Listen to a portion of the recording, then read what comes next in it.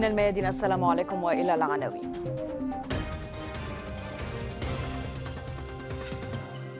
رئيس الوزراء الإثيوبي يبدأ مهمة وساطة في الخرطوم ومبعوث الاتحاد الأفريقي يكشف عن تأليف مجموعة لمتابعة الأوضاع.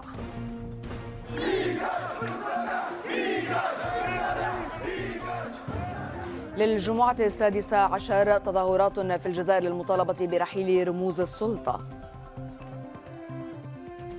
بوتين يقول أن روسيا مهتمة بتوسيع وجود الشركات الصينية في السوق الروسية.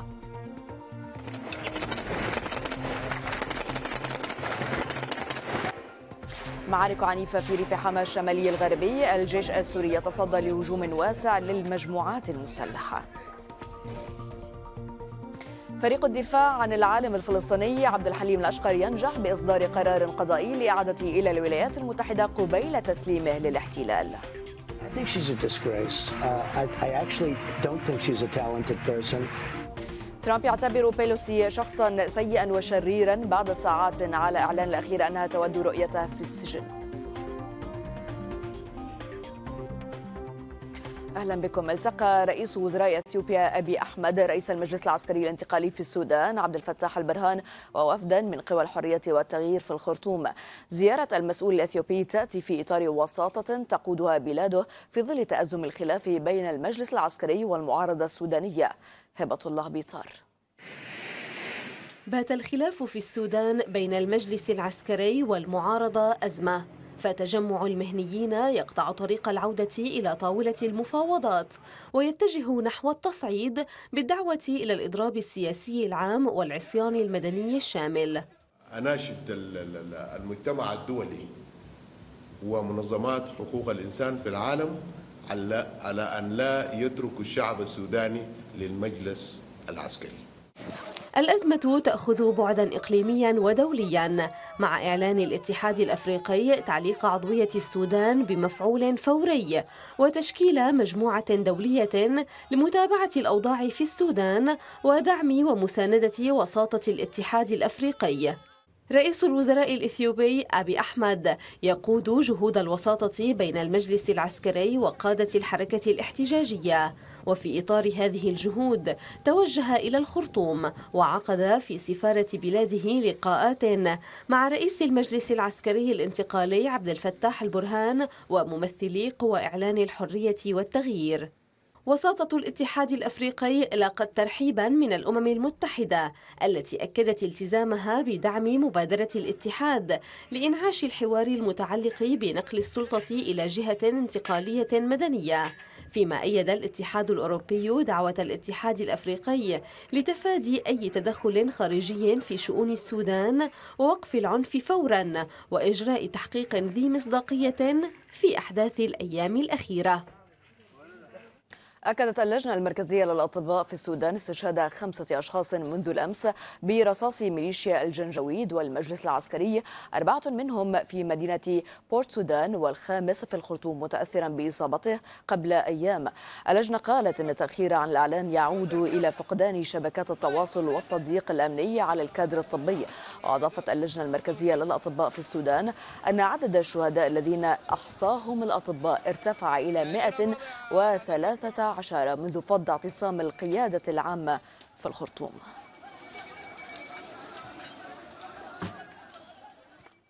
هذا وأعلنت الشرطة السودانية أن بعض الفئات التي وصفتها بالخارج عن القانون هاجمت مقر تابع لها في الخرطوم وولايات أخرى. الشرطة قالت أن هذه الفئات استغلت الظروف الراهنة لاستهداف مقرها ومحاولة حرقها وإتلاف السجلات فيها. كما حاولت اقتحام سجن كوبر وأطلاق سراح رموز النظام السابق. الشرطة عدت ما حدث مؤشرا خطيرا مؤكدة أن أي محاولة للمساس بمقرها ستواجه بالحسم الحسم التام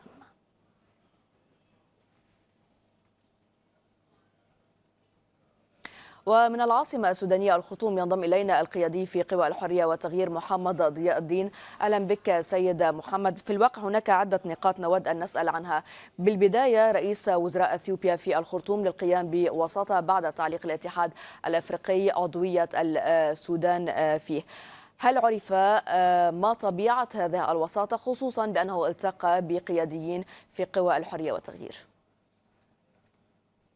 اولا باسم قوى إعلان الحرية والتغيير نرحب بزيارة رئيس دولة إثيوبيا الشقيقة أبي أحمد الذي يجد تقدير من الشعب السوداني وشعوب القارة الأفريقية كافه.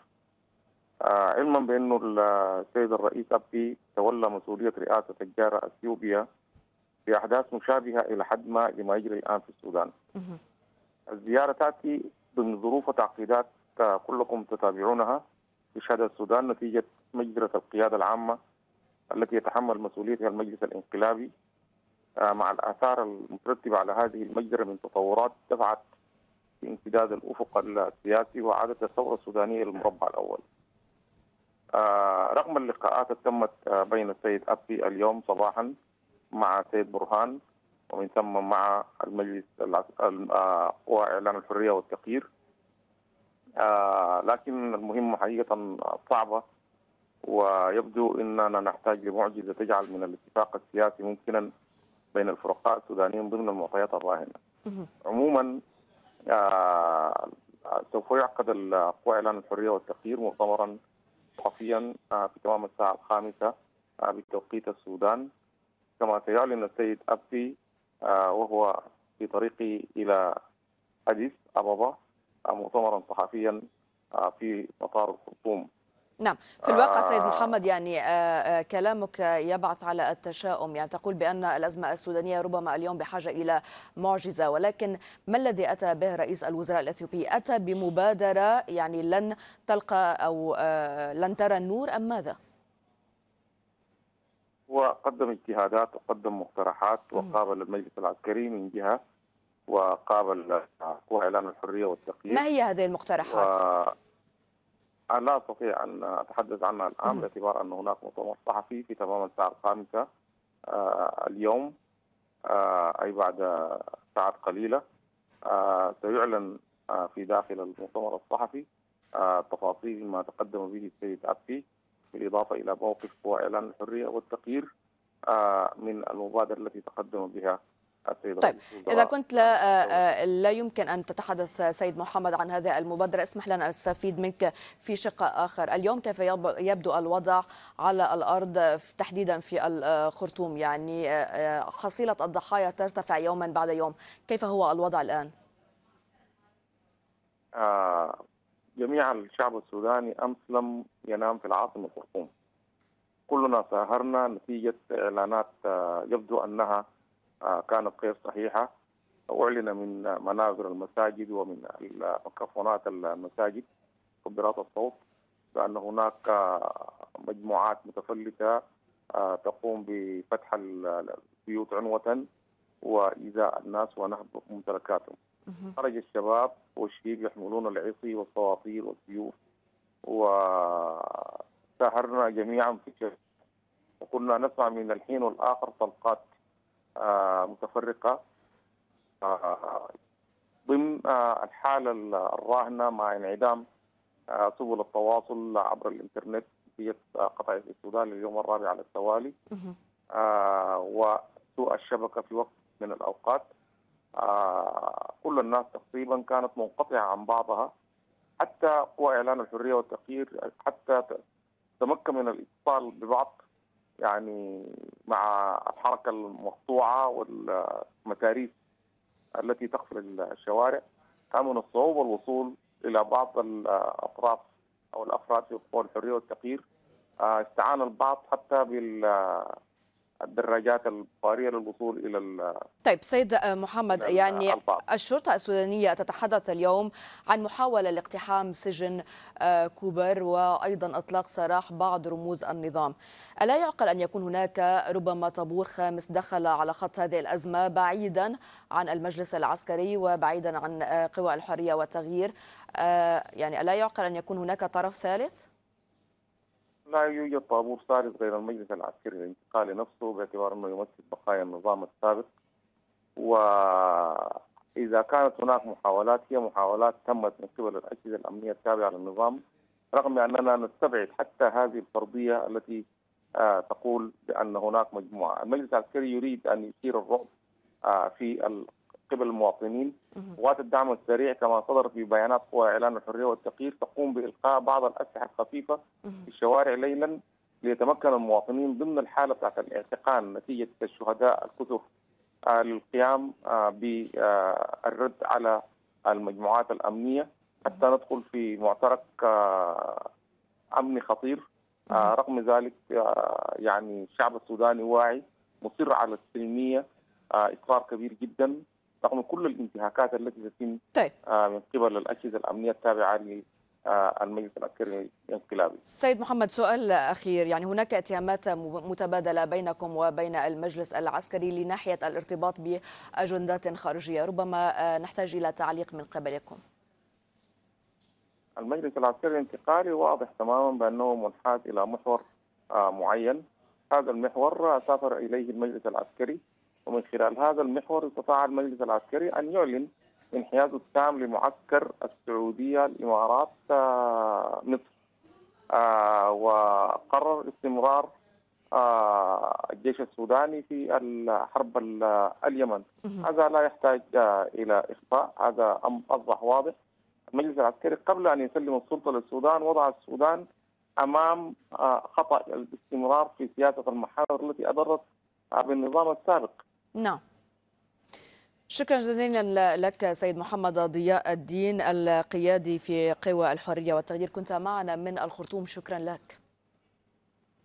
اسم الجنجويد اشتق من فعل رباعي هو جنجد أي مارس النهب المنظم. فما الذي يعني هذا الاسم المقترن في ذاكرة السودانيين بالموت والخراب؟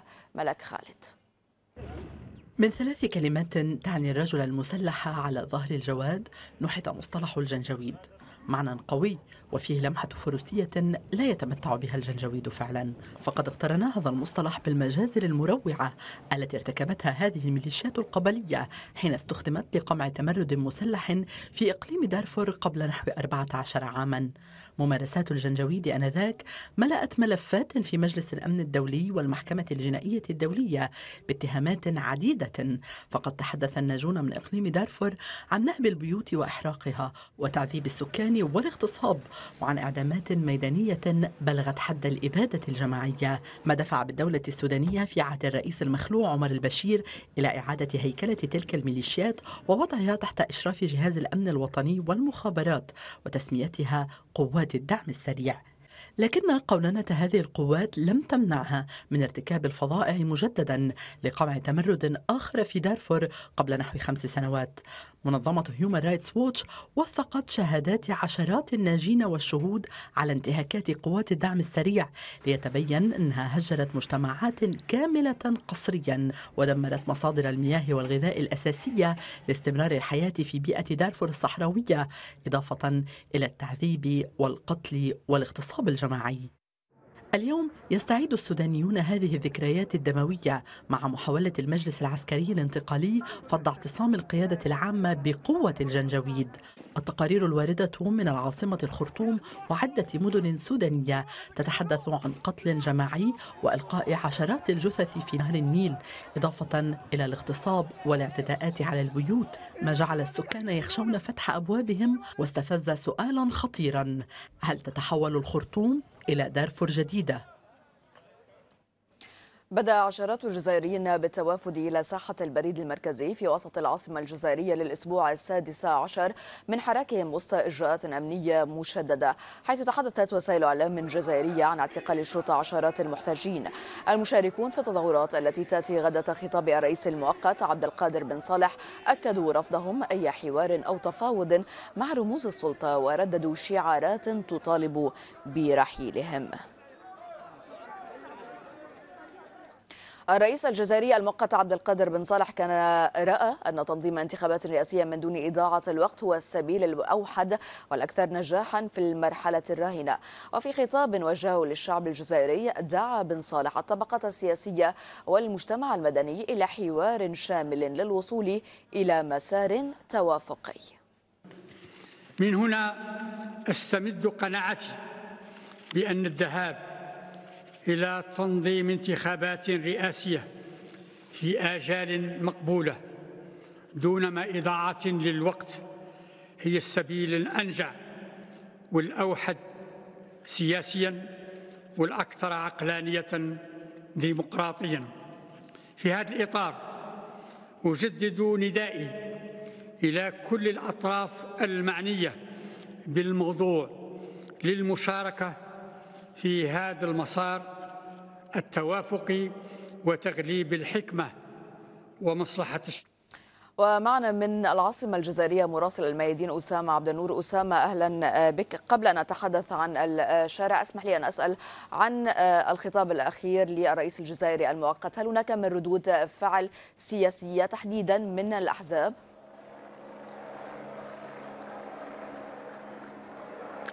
نعم حياكم الله في هذه الجمعة السادسة عشرة التي سبقها خطاب لرئيس الدولة السيد عبد القادر بن صالح ليلة الأمس والذي وصف بالهام لكن لحد الساعة الشارع الجزائري لم يتجاوب مع هذا الخطاب بالقدر الكافي وبالأمان التي كانت قد تعلقت على الحل الأخير قبل نفاذ الحلول وضياع الوقت كما يتحدث رئيس الدولة. في ردود الفعل في الطبقة السياسية قبل الحديث عن الحراك في جمعة السادسة عشرة. ورد فقط رد فعل من حركة أو حزب ال RCD وهو حزب محسوب على ربما منطقة معينة من الجزائر والذي رفض منذ البداية الدخول في أي حوار مع سلطة فاقدة للشرعية كما وصف. أما أحزاب الأخرى من غير الحزب حركة البناء الوطني فقد تحدثت عن أن الحوار هو الحل الأنجع وتنظيم الانتخابات هو المخرج الأنجع والوحيد لحل الأزمة السياسية في الجزائر لكنها لم تتحدث عن قبولها للدخول في حوار الذي تحدث عنه رئيس الدولة أم لا؟ أما الأحزاب السياسية الأخرى خاصة الأحزاب التي لها قاعدة حزبية كبيرة فأعتقد أنها تنتظر اليوم الرد الشعبي لكي تبني عليها موقفا سياسيا. الأحزاب السياسية في الجزائر أصبحت لا يمكنها إلا أن تتناغم مع الحراك الشعبي وإلا فإنها ستصنف في في الخانة ربما المعاكسة لإرادة الشعب الجزائري. اليوم الكل ينتظر رد الحراك الشعبي في جمعة السادسة عشرة على مطلب الحوار الذي الذي حمله ربما رئيس الدولة السيد عبد القادر بن صالح للطبقة السياسية وأكد بأنه سوف لن يكون ولن تكون لا رئاسة الجمهورية ولا الإدارة طرفا في تنظيم الانتخابات ولا حتى في تشكيل ما تم تسريبه طيب اللجنة المستقلة لتنظيم الانتخابات والتي أطلق عليها تسمية بالسلطة الوطنية طيب أسامة إذا ما كانت يعني الأحزاب السياسية نعم. الرئيسية تنتظر رد الشارع بحسب الصورة الحشد حتى الساعة لا يبدو يعني الحضور في الساحات لا يبدو حاشدا حتى الساعة. هل التظاهرة لا تزال يعني في أولها أم ماذا؟ وماذا عن الشعارات التي تطلق اليوم؟ هل هناك من عناوين جديدة؟ بالفعل التظاهرة السادسة عشرة لحركة أو لحراك الشعب الجزائري. هي في بدايتها إن صح التعبير في هذه السويعة. ولكن مقارنة بالأيام أو بالجمعات السابقة كانت تشهد هذه الساعة ملأ يعني إقبالا كبيرا يملأ هذا الشارع الكبير الذي وراءنا وهو شارع البريد المركزي أو شارع الذي هو في أمامنا وهو شارع موريس أودان وشارع الكبير. اليوم الإقبال مقارنة بالجمعات السابقة هو ضعيف يعني كثيرا مقارنة بالجمعات السابقة ولا تفسير؟ يوجد لحد الساعة شعارات جديدة لافتة غير الشعارات التي تتحدث عن رفض الباءات وترفض ترفض عبد القادر بن صالح رئيس الدولة. المؤقت وترفض كذلك رئيس الحكومة سيد نور الدين بدوي. ربما نترك الكاميرا تركز أكثر الصورة لكي نكون أكثر صدقية في نقل الصورة كما هي والواقع كما هو وهذا شعار قناتنا. الحشود اليوم لحد الساعة لا يتجاوز ربما المئات من الذين حضروا. ولا ولا توجد طيب حتى سريعا أسامة كوننا في مداخلة ضمن نشرة سريعا أسامة. هل من تفسير لهذا الحشود التي يمكن وصفها بالقليلة حتى الساعة هذا أولا. وماذا عن الاعتقالات في صفوف المحتجين؟ لماذا تمت هذه الاعتقالات؟ سريعا لو سمحت. بالفعل بالنسبة للطوق الأمني فهو طوق يعني كل جمعة دأبت عليه السلطات الأمنية في الجزائر من أجل حماية الحراك من أي اختراقات خاصة أن هناك تخوف كبير من أعمال عنف ومن تفجيرات ومن اختراقات أمنية قد تفسد على الجزائريين مطالبهم السلمية. أما فيما يخص الاعتقالات فهي اعتقالات تتعلق ربما بأشخاص اشتبه فيهم أو لديهم سوابق عدلية ويحاولون يعني إفساد هذا الحراك لحد المعلومات التي أملكها. ولا توجد اعتقال اعتقالات سياسية أو نعم. محاولة لوأد الحراك بالنسبة للطوق الأمني في مداخل العاصمة فأصبح يعني دائم كل جمعة من أجل آه، تنفيس العاصمة من الإقبال الكبير نعم. للحركيين من خارج العاصمة اليوم هذه الجمعة السادسة عشرة آه، مرتقب فيها أن نسمع رد الشارع على اولا خطاب آه، رئيس الدولة ثانيا مطلب المؤسسة العسكرية بضرورة التوجه للحوار وبحسب رأيي لحد الساعة هناك آه، إقبال وتوافق وموافقة شعبية على ضرورة المضي نحو الحوار ولا يوجد حل إلا عن طريق الانتخابات ولكن من الذي. سيدير الحوار وما الذي يش- سيشرف عنه خاصة أن الشعب يرفض رئيس الدولة ويرفض الحكومة ويرفض الرموز السابقة لنظام بوتفليقة شكرا جزيلا لك أسامة آه، عبد النور مراسل الميادين كنت معنا من العاصمة الجزائري- الجزائرية على نقل هذا الصورة من الشارع وكل هذه المعلومات أيضا. في أول تعليق لها على تصريحات الرئيسين الأمريكي والفرنسي أمس في النورماندي اعتبرت الخارجية الإيرانية تصريحات ترامب بشأن إيران متناقضة ولا تستحق ردا جديدا. المتحدث باسم الخارجية عباس موسوي أشار إلى أن تصريحات إيمانويل ماكرون تتخطى الاتفاق النووي وتمثل أرضية لانهياره وهو ما تريده واشنطن. وشدد على أن الأوروبيين لم يلتزموا بتعهداتهم لا في الاتفاق النووي ولا بعد الانسحاب الأمريكي منه.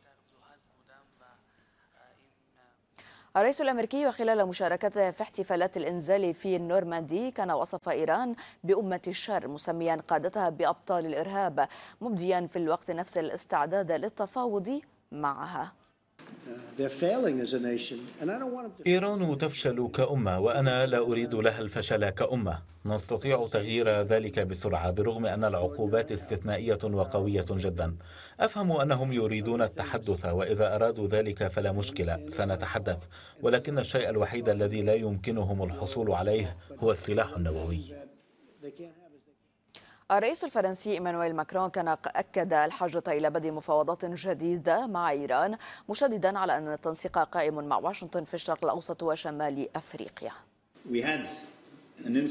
أعتقد أننا نشترك في أهدافنا حيال إيران ماذا نريد أن نفعل؟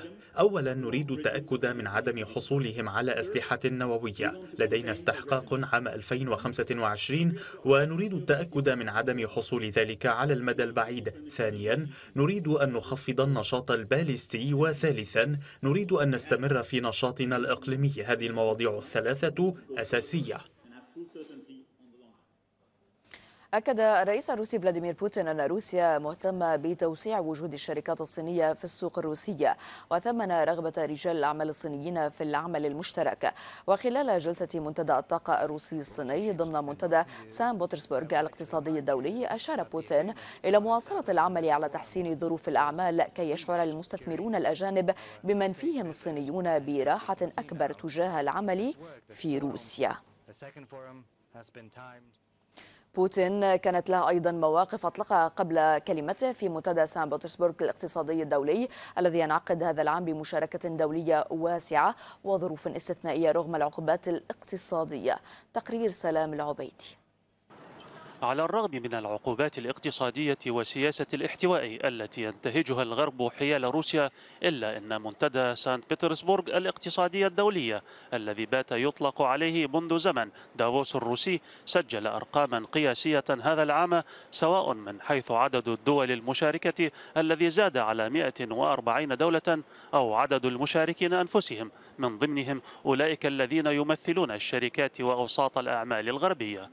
منتدى بطرسبرغ يثبت من عام إلى عام إنه ليس مجرد ساحة لعقد صفقات وإبرام عقود تجارية وإنما أيضا ملتقى لتبادل وجهات النظر إزاء قضايا العصر كالأمن والسلام العالميين والتنمية المستدامة وإبداء المواقف السياسية من الأزمات والنزاعات الدولية والإقليمية. المشاركة التقليدية للأمين العام للأمم المتحدة إلى جانب رؤساء منظمات ومجموعات دولية وإقليمية أخرى تكسب المنتدى أهمية إضافية وتسلط الضوء على قضايا الساعة. من الضروري أن نبذل كل ما في وسعنا من أجل ألا نرجع إلى الحرب الباردة. لقد أصبح قادة العديد من البلدان أكثر تركيزا الآن على الطموحات الشخصية منه على أهداف التنمية المستدامة. العالم كان ثنائي القطب ثم أصبح متعدد الأقطاب. أما الآن فقد أصبح عشوائيا. المنتدى يستمد أهميته أيضا من رعاية الرئيس الروسي له وكبار الضيوف المشاركين. فهذا العام أصبح الرئيس الصيني شي جين بينغ ضيفا فخريا عليه. موسكو وبكين تستعرضان مواقف متطابقة إزاء عقد القضايا. لاحظت أن الرئيس ترامب قال أو كتب مؤخرا أنه مستعد من حيث المبدأ لعقد اجتماعات ومفاوضات مع نظيره الإيراني مع رئيس إيران وهذا أمر مرحب به وسيكون خطوة جيدة جدا نحو إيجاد حلول مقبولة لدى الطرفين ونحن سنساعد على ذلك بكل الوسائل. مواقف سياسية عديدة برزت في سان بطرسبرغ لكن ما يميز هذه المواقف نبرتها التصالحية ودعوتها إلى الحوار لا إلى المواجهة. منتدى سان بطرسبرغ الاقتصادي الدولي يثبت مرة أخرى أن للمواقف السياسية خلفيات اقتصادية وهذا ما تظهره الحرب التجارية بين الصين والولايات المتحدة والعقوبات الاقتصادية المفروضة على دول عدة مثل روسيا وإيران وفنزويلا. سلام العبادي سان بطرسبرغ الميادين. وفي نهاية فعاليات الافتتاح الرسمية لمنتدى بطرسبرغ الدولي قام الرئيس الروسي فلاديمير بوتين ونظير الصيني تشي جين بينغ بنزهة عبر النهر الذي يمر في سان بطرسبرغ وشاهد من على متن المركب المعالم الرئيسية للمدينة وتوقفا لزيارة الطراد الأسطوري أورورا وأنهى زعيمان جولتهما في متحف الإرميتاج А вот этим похожим на открытую консервную банку предметом, который называется... تصدى الجيش السوري لهجوم واسع شنه ومسلحون من مختلف الفصائل على محاور الجبين والحماميات وتل الملح شمال وشمال غرب حما. وكالة سبوتنيك نقلت عن قائد ميداني أن الجيش السوري شن هجوما مضادا بالتزامن مع قصف الطائرات الحربية والمروحية والمدفعية لمحاور تحرك المجموعات المسلحة. عشرات المسلحين سقطوا في كفر هود وتل ملح في ريف حماة الشمالي خلال محاولتهم تخفيف الضغط على محاور ريف إدلب الجنوبي. المعركة التي زجت هيئة تحرير الشام وجيش العزة المئات من المسلحين فيها تحت شعار كسر العظم كسرت عظام المهاجمين. بعد أقل من 24 ساعة بدأ الجيش السوري بعملية استعادة تلك النقاط. إن هذه المنطقة تعتبر البوابة الجنوبية في محافظة إدلب هذه من نقطة وتشرف على مناطق هامة ومناطق حساسة. طبعا الجيش العربي السوري استطاع أن يحرر هذه المناطق وكان هناك عملية معاكسة أو هجوم معاكس. اللافت في النظر بأن المجاميع الإرهابية الآن تنتهج نفس أسلوب التنظيمات تنظيم داعش الإرهابي بعملياتها الانتحارية والهجوم بكميات كبيرة باعداد أعداد هائلة جدا. هجوم المسلحين انطلق من محور كفر زيتا واللطامنة والأربعين. مواقع لا تبعد سوى كيلومترات قليلة عن النقطة التركية في مورك دور تركي معلن في تبني هجمات النصرة وجيش العزة. دعم بالآليات والعتاد والمعلومات في محاولات لكسر معادلات جديدة يثبتها الجيش السوري في ريفي حماة الشمالي وإدلب الجنوبي. كانت هذه النقطة تقدم كل أشكال الدعم لهذه المجامع الإرهابية لأن من خلال هذه النقطة تم إدخال أكثر من خمسين عربة مدرعة بما تحمله من عتاد ومن عناصر لزجها في هذه العملية. رد الجيش السوري طال خطوط إمداد المسلحين من خان شيخون والهبيط باتجاه الزكاة والأربعين. قصف وغارات على مقر جيش العزة وهيئة تحرير الشام في كفر زيتا واللطامنة. سيناريو استعادة الجيش السوري بلدة كفر بودة قبل عشرة أيام بعد هجوم كبير لهيئة تحرير الشام يتكرر في تل ملح وكفر هود في ريف حماة الشمالي معارك أوقعت خسائر كبيرة في صفوف المسلحين من دون أي تبديل في المعطيات الميدانية على الأرض. محمد الخضر دمشق الميادين. الظهيرة مستمرة وفيها بعد الفاصل. البحرية الأمريكية تقول أن مدمرة روسية كادت تصدم طرادا أمريكيا في بحر الفلبين.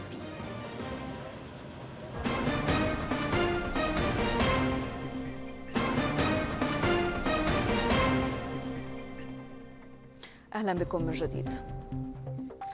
رفض البرلمان الألماني طلب حزب البديل لألمانيا اليميني المتطرف برفع توصية للحكومة بتصنيف حزب الله بجناحيه السياسي والعسكري منظمة إرهابية. وطلب نواب حزب الاتحاد المسيحي الديمقراطي الحاكم بالعمل على المستوى الأوروبي لاتخاذ خطوات ضده. وعبر بعضهم عن المخاوف من ضم حزب الله إلى قائمة الإرهاب لأنه جزء من الحكومة اللبنانية. أعلنت زوجة العالم الفلسطيني عبد الحليم الأشقر أسماء مهنا أعلنت أن فريق الدفاع عن زوجها نجح بإصدار قرار قضائي لإعادته إلى الولايات المتحدة الأمريكية. المركز الفلسطيني للإعلام نقل عن مهنا قولها أن الحكومة الإسرائيلية أعادت زوجها إلى الولايات المتحدة الأمريكية بعد أن اقترب تنفيذ قرار تسليمه من الولايات المتحدة للاحتلال الإسرائيلي. مؤكدة أن زوجها يمكث الآن في سجن في ولاية فيرجينيا.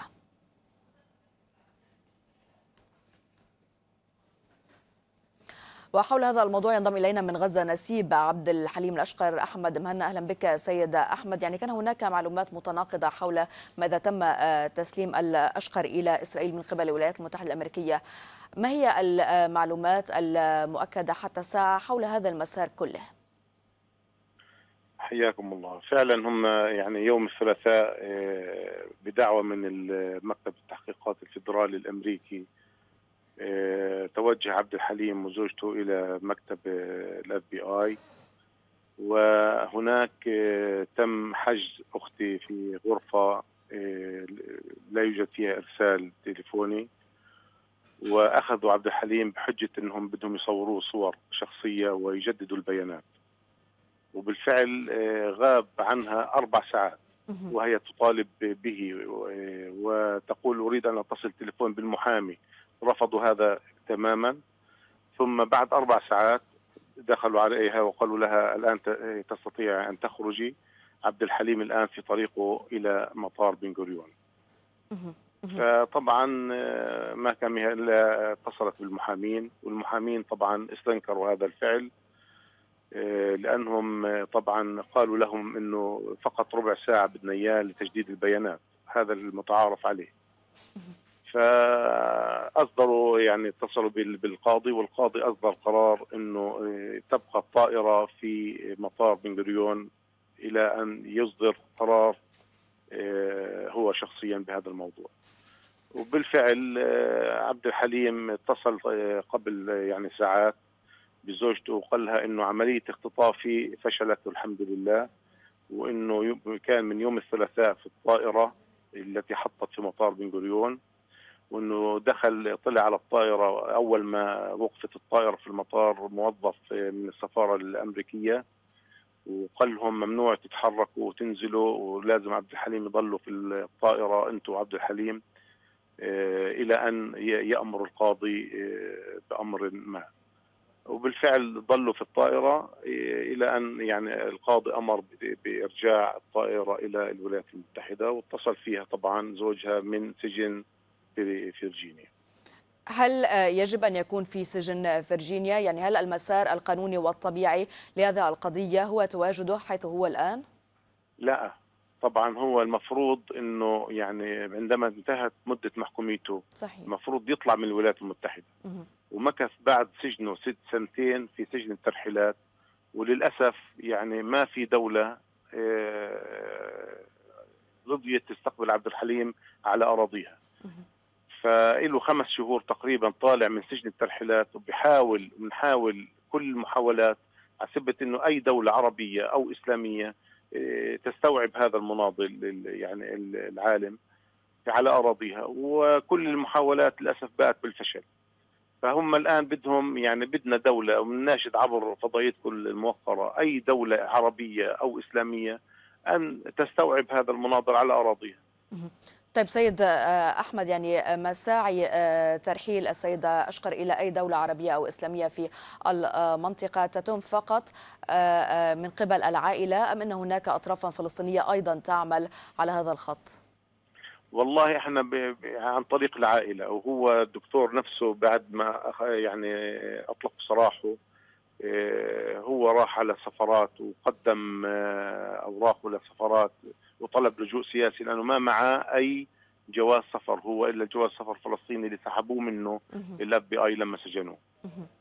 فهو قدم ل يعني عدة سفرات وطلب لجوء سياسي وبنتظر كان مسكين إنه إيش أحد الدول تقبله على أراضيها. شكرا جزيلا لك سيد أحمد مهنا نسيب عبد الحليم الأشقر كنت معنا من غزة. شكرا لك. نقلت وكالة رويترز عن مصادر وصفتها بالمطلعة أن مصرفي سيتي بنك ودوتشي بنك سيطرا على ذهب للحكومة الفنزويلية بقيمة نحو مليار ونصف مليار دولار. رويترز نقلت عن المصادر قولها إن المركزي الفنزويلي كان اتفق مع المصرفين على إعادة شراء الذهب في العامين 2020 و2021 لكن بعد فرض واشنطن عقوبات على البنك المركزي في نيسان أبريل نفذ البنكان شرط في العقود للاحتفاظ بملكية الذهب متذرعين بأن حالة عجز عن السداد حدثت بسبب العقوبات. المزيد من الضغط والإجراءات على فنزويلا تمارسها الإدارة الأمريكية. أحدث إجراء تمثل في تقييد الوصول إلى إيرادات الصادرات النفطية من اي شركة النفط الفنزويلية المملوكة للدولة بحسب ما أعلنت وزارة الخزانة الأمريكية. إدارة ترامب تهدف من وراء ذلك إلى تشديد الخناق على أي محاولة التفاف على العقوبات القائمة تسمح لحكومة مادورو بمواصلة العثور على سبل لما تراه استغلال اي كمصدر للمال. في المقابل تواصل روسيا دعم فنزويلا وتعرب عن استعدادها لزيادة عدد خبرائها العسكريين هناك إذا احتاجت كاراكاس ذلك. وعلى هامش منتدى بطرسبرغ الاقتصادي الدولي أعلن مدير دائرة أمريكا اللاتينية في الخارجية الروسية ألكسندر شتينين أن بلاده ستستكمل العقود مع فنزويلا مؤكدا أنها مسألة فنية بحتة تتعلق بتنفيذ عقود محددة تنص على حجم أعمال محدد.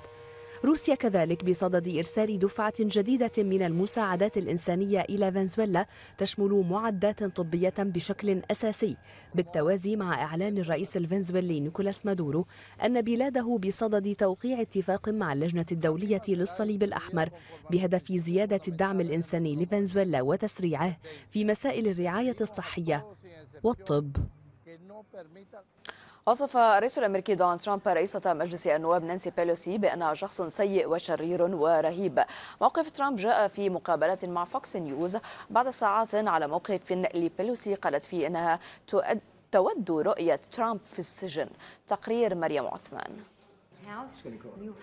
لم يعد الخلاف بين بيلوسي وترامب يمثل الصراع المتجذر بين الحزبين الجمهوري والديمقراطي في الولايات المتحدة فحسب فالجبهة المفتوحة بين الرئيس الأمريكي ورئيسة مجلس النواب تخطت حدود الخلاف السياسي. كل منهما لا يوفر فرصة لتوجيه انتقادات لاذعة وعلنية تجاه الآخر. وصلت إلى حد الإهانات والشتائم. عزل ترامب من منصبه ليس كافيا بالنسبة لبيلوسي التي أعلنت صراحة أنها تفضل الحكم بالسجن على ترامب بدلا من عزله حيث كشف موقع بوليتيكو أن رئيس اللجنة القانونية في مجلس النواب جيرالد نادلر حاول إقناع بيلوسي بمنح الإذن للجنة القانونية لبدء إجراءات عزل ترامب إلا أنها أكدت بحسب الموقع أنها لا تريد إقالته بل تريد رؤيته في السجن. ترامب كعادته رد على تصريحات بيلوسي بالإهانات. أعتقد أنها تثير الخزي. في الواقع لا أعتقد أنها شخص موهوب. لقد حاولت أن أكون لطيفا معها لأنني أرغب في إنجاز بعض الصفقات لكنها غير قادرة على ذلك. إنها شخص سيء وشرير ورهيب. بين خلاف ترامب وبيلوسي وتأكيد ترامب أن تقرير المحقق الخاص روبرت مولر حول احتمال التدخل الروسي في الانتخابات الأمريكية متحيز ضده يبدو قادة الحزب الديمقراطي عازمين على محاولة إقناع بيلوسي وبعض النواب الجمهوريين بضرورة عزل ترامب على الرغم مما قد يسببه هذا العزل من شرخ في البلاد بحسب بيلوسي. أعلنت البحرية الأمريكية أن مدمرة روسية اقتربت بشكل خطر وغير مبرر من سفينة حربية أمريكية في بحر الفلبين. وفق البحرية فإن هذا الاقتراب عرض حياة طاقم السفينة للخطر.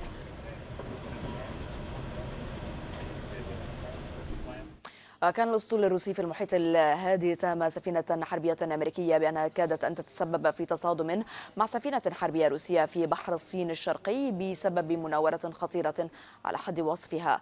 وفق البحرية الروسية فأن سفينة أمريكية تحمل صواريخ موجهة اقتربت لمسافة 50 مترا فقط من المدمرة الروسية التي اضطرت إلى اتخاذ إجراء طار لتجنب الصدام. والآن إلى موجز الاقتصاد في الظهيرة وزميلتي أليسار كرم أهلا بك أليسار شكرا تفضلي. شكرا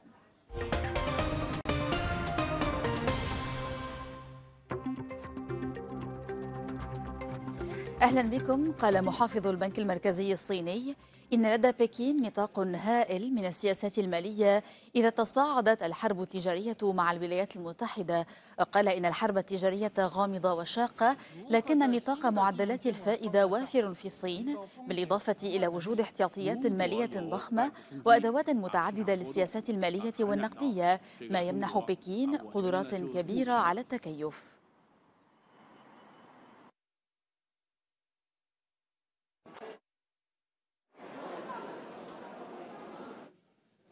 كشفت المكسيك والولايات المتحدة عن إحراز تقدم في محادثاتهما حول الهجرة غير الشرعية ولكن واشنطن قالت إن التقدم ليس كافيا حتى الآن لمنع الرئيس دونالد ترامب من فرض رسوم جمركية جديدة على جميع الواردات المكسيكية.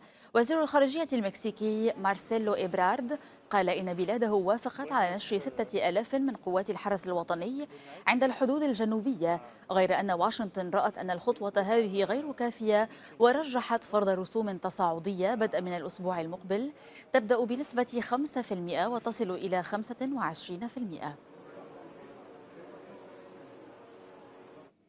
شددت وزارة الخزانة الأمريكية عقوباتها ضد شركة النفط الفنزويلية عبر منعها من استيراد مخففات للزوجة التي تضيفها إلى النفط كي يصبح قابلا للتصدير. وكانت الشركة الفنزويلية تستورد هذه المنتجات من الولايات المتحدة ولجأت إلى مصادر أخرى بعد فرض العقوبات عليها لتجري وزارة الخزانة الأمريكية تحديثا بإدراج هذه المواد ضمن قائمة عقوباتها. تناقش روسيا والسعودية استثمارات في مجال الغاز والكيميائيات النفطية. وكشف وزير الطاقة الروسي ألكسندر نوفاك أن تنفيذها سيتم قريبا. نوفاك قال على هامش منتدى بيترسبورغ الاقتصادي الدولي إن الطرفين يعملان على إنشاء مراكز بحوث علمية مشتركة في روسيا وإن بعض المشاريع يتم التعاون فيها مع شركة غازبروم وجامعة موسكو الحكومية. أيضا كشف وزير الطاقة الروسي ألكسندر نوفاك عن تأجيل اجتماع أوبك ودول من خارجها من الشهر الحالي. عفوا من الشهر الحالي إلى مطلع تموز يوليو المقبل. وكان قد فشل الاجتماع السابق في التوصل إلى توصيات محددة بشأن مستويات الإنتاج وسط ضغوط أمريكية لرفع الإنتاج للمساهمة في خفض الأسعار وتعويض المفقود من السوق نتيجة العقوبات على فنزويلا وإيران. حذرت شركة جوجل الأمريكية إدارة الرئيس دونالد ترامب من تهديد الأمن القومي للولايات المتحدة إذا مضت قدما في تنفيذ قيود التصدير على شركة هواوي الصينية صحيفة فاينانشال تايمز البريطانية كشفت أن جوجل طالبت بإعفائها من أي قيود في هذا المجال. وقالت إنها لن تستطيع تحديث أنظمة تشغيل أندرويد التي تعمل على هواتف هواوي ما قد يدفع الشركة الصينية إلى استخدام نظام تشغيل خاص بها تقوم بتطويره.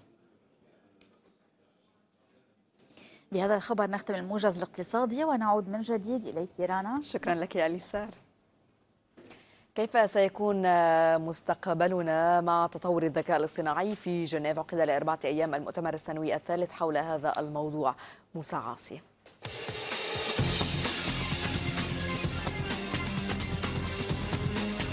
الذكاء الاصطناعي في خدمة البشرية. عنوان هذا المؤتمر الذي يجمع نحو 120 دولة ومئات الشركات من مختلف أنحاء العالم وأيضا الأفراد الذين جاءوا إلى هنا من أجل عرض آخر إبداعاتهم هنا في هذا الجناح سنطلع على اختراع قد يفيد كثيرا ضعيفي البصر والمكفوفين في الاطلاع على محيطهم ومعرفة الأشياء. بإمكان هذه التطبيقات تحديد أنواع وأعداد العملات التي أمامها أو قراءة الوثائق أو تعريف الأشخاص أو حتى قراءة لائحة الطعام. ويكفي أن توجه الكاميرا إلى هذه العملة لتحدد قيمتها. مؤسسة داتا أورورا من لبنان حملت إلى جنيف مقترحا من أجل حل مسألة البيانات أو ال data للمنظمات الإنسانية التي تعمل خصوصا في دول الأزمات. نتكامل مع المنظمات الحكومية والمنظمات الغير حكومية لحتى نقدر نأمن لهم مصادر البيانات اللي هي بتنقصهم بتنفيذ أي مشروع آه، بيستخدم الذكاء الاصطناعي. كيف يمكن للذكاء الاصطناعي أن يساعد وسائل الإعلام والصحفيين في عملهم اليومي؟ حتى الآن كان اهتمام وسائل الإعلام مركزا على التقنيات كنقاء الصورة والصوت لكن في المستقبل سيتركز الاهتمام على تقنيات جديدة كالترجمة الذاتية الفورية بلغات مختلفة هذا روبوت فيوجن يتم التحكم به عن بعد ليساعدك في أداء مهامك. بإمكان من يحرك هذا الروبوت أن يكون قادرا على تحريكه عبر الإنترنت في أي مكان يوجد فيه. هذا الروبوت يأخذ مكاني الآن. هو يكملك ولن يكون عليك حمل أي شيء بيديك. بعد عدة سنوات لن يكون لي مجال في هذا العمل. المثير في الأمر أن هذا الروبوت هو بمثابة مساعد لك. فمثلا إن لم تكن قادرا على إجراء مقابلة بإمكانك تحريكه. عن بعد ليقوم بالعمل مكانك لا أتمنى لكم التوفيق في هذا العمل. لا لا. على عملي أنا. Oh no. Oh no. سيتراجع دور الإنسان كثيرا مع تقدم الذكاء الاصطناعي. هذه السيارة الجميلة مثلا سيارة سباق تدار من دون سائق. هناك تجارب كثيرة تجري الآن في أوروبا على السيارات العادية من أجل أن تقاد مستقبلا بشكل ذاتي. أنا موسى عاصي من مؤتمر الذكاء الاصطناعي في جنيف. إلى اللقاء. إلى العناوين.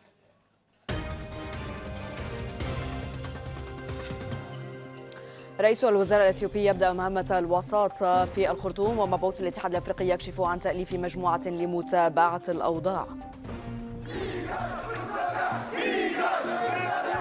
للجمعة السادسة عشر تظاهرات في الجزائر للمطالبة برحيل رموز السلطة.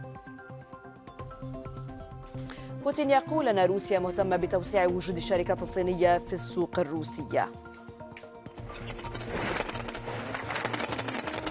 معارك عنيفة في ريف حما الشمالي الغربي الجيش السوري يتصدى لهجوم واسع للمجموعات المسلحة فريق الدفاع عن العالم الفلسطيني عبد الحليم الأشقر ينجح بإصدار قرار قضائي لإعادته إلى الولايات المتحدة قبيل تسليمه للاحتلال I think she's a disgrace. Uh, I, I actually don't think she's a talented person. ترامب يعتبر بيلوسي شخصا سيئا وشريرا بعد ساعات على إعلان الأخير أنه أنها تود رؤيته في السجن. المزيد من الأخبار والتقارير يمكنكم زيارة موقع الميادين على الإنترنت الميادين دوت نت باللغتين العربية والإسبانية إلى اللقاء.